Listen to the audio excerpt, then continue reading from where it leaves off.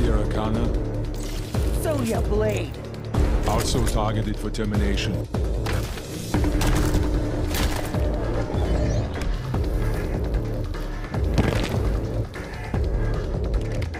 There is an entire legion of Terminators. In the future, we drive humanity to extinction. Tell me more.